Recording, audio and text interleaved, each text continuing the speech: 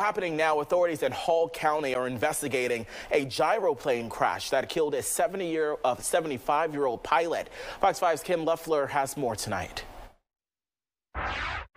According to the Hall County Sheriff's Office, the 75-year-old pilot was flying an AR-1 gyroplane when it crashed around 2 Saturday afternoon. Deputies were keeping us back from the crash site, but they say it happened in this hayfield hidden behind that line of trees. This is just off of Clarks Bridge Road. Neighbors we spoke to said the pilot hit a power line before crashing.